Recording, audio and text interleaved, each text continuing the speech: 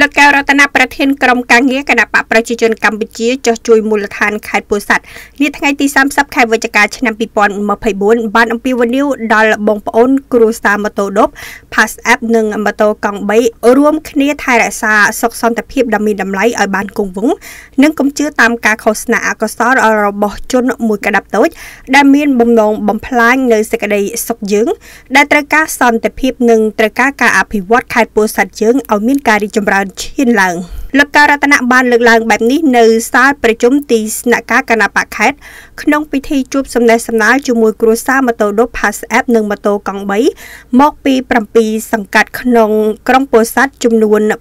394នាក់ដោយមានការចូលរួមពីលោកខុយរីដា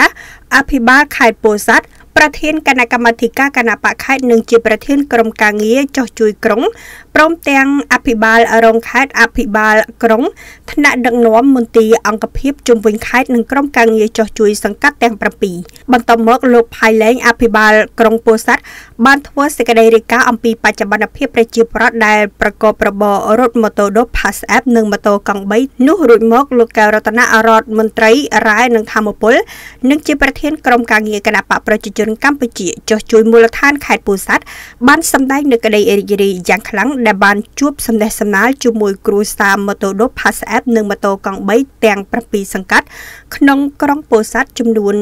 394នាក់ក្នុងគោលបំណងបានប្រស្រ័យទំនាក់ទំនងគ្នាដើម្បីជំរុញលើកស្ទួយសេដ្ឋកិច្ចពួកគាត់ឲ្យមានការរីកចម្រើនលូតលាស់បន្ថែមទៀតលោកកៅរតនៈបានបញ្ជាក់ថាប្រទេសជាតិមានសុខសន្តិភាពស្ថិរភាពមកដល់ពេលនេះគឺបានមកពីការដឹកនាំដ៏ឆ្លៀសវៃរបស់សម្ដេចនាយកហ៊ុនសែនរួមទាំងអិសរាជជនឆ្នាំឆ្នាំជាច្រើនទៀតដែលបានបូជាសាច់ស្រស់ឈាមស្រស់ដើម្បីមាតុភូមិ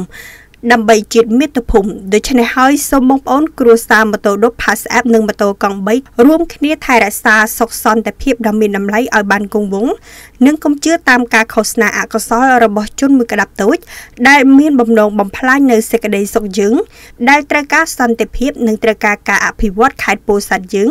ឲ្យមានការរីកចម្រើនឈានមុខ លោកបានជម្រាបជូនថាប្រមុខរាជរដ្ឋាភិបាលអាណត្តិទី7នៃរដ្ឋសភាក្រោមការដឹកនាំរបស់សម្ដេចបវរធិបតីហ៊ុនម៉ាណែតនាយករដ្ឋមន្ត្រីនៃកម្ពុជា បាននឹងកំពុងតាក់ទាញអ្នកវិនិយោគក្រៅប្រទេសចូលមកខេត្តពោធិ៍សាត់ហើយថ្មីថ្មីនេះจึงមានរោងចក្រជាច្រើនបាននឹងកំពុងសាងសង់និងដំណើរការខ្សែច្រវាក់ផលិត នៅតំបន់សេដ្ឋកិច្ចពិសេសពោធិ៍សាត់ស្ថិតក្នុងស្រុកក្រគូនេះដោយសារតែប្រជាពលរដ្ឋខេត្តពោធិ៍សាត់តែងតែគ្រប់គ្រងនូវគោលនយោបាយរបស់រាជរដ្ឋាភិបាលគ្រប់អាណត្តិលោកកៅរតនៈបានសង្កត់ធ្ងន់ថាកត្តាដែលយើងទាំងអស់គ្នាត្រូវព្រួយបារម្ភនោះគឺការបាត់បង់នៅធនធានធម្មជាតិដោយសារការរុករាន កັບឆ្កាទន្ទ្រានវេទីយកដីធ្វើជាកម្មសិទ្ធិ យ៉ាងអនាធបត័យពីសំណាក់ជនល្មើសមួយចំនួនទាំងអស់នេះទាមទារឲ្យមានការចូលរួមពីសំណាក់បងប្អូនគ្រួសារម៉ូតូឌុបនិងប្រជាពលរដ្ឋដើម្បីបង្ការបង្ក្រាបទាំងអស់គ្នាព្រោះថាព្រៃឈើនេះហើយគឺជាអាយុជីវិតរបស់យើងជាមួយគ្នានោះយើងទាំងអស់គ្នាក៏ត្រូវចូលរួមថែរក្សាការពារព្រៃឈើនិងដាំដើមឈើឡើងវិញគ្រប់ទីកន្លែងផងដែរលោករដ្ឋមន្ត្រីក៏បានស្នើដល់បងប្អូនគ្រួសារម៉ូតូឌុប Pass App និងម៉ូតូកង់3 ត្រូវចេះរួមគ្នាសាមគ្គីគ្នាយកអាសាជួយគ្នាទៅវិញទៅមកនិងត្រូវធ្វើជាកម្លាំងសម្ងាត់ក្នុងការការពារសន្តិសុខសុវត្ថិភាពទប់ស្កាត់ក្មេងទំនើងនៅមូលដ្ឋានស្របតាមគោលនយោបាយភូមិឃុំសង្កាត់មានសុវត្ថិភាពដែលបានដាក់ចេញឆ្លៀតក្នុងឱកាសនោះលោកកៅរតនៈក៏បានត្រៀមរៀបចំ ជូននៅវត្ថុកំដរដៃដល់គ្រួសារម៉ូតូឌុប Pass App និងម៉ូតូកង់3តុកតុកមកពី7សង្កាត់ក្នុងក្រុងពោធិ៍សាត់ចំនួន394នាក់ដោយក្នុងម្នាក់ម្នាក់ទទួលបានអាវកាក់ក្លឹបម៉ូតូឌុបក្រុងពោធិ៍សាត់1អាវដៃវែង2អង្គ20គីឡូក្រាមស្តាំង10លីត្រនិងថវិកា20000រៀលផងដែរកម្មវិធីនេះឧបត្ថម្ភដោយ Villa Orchidee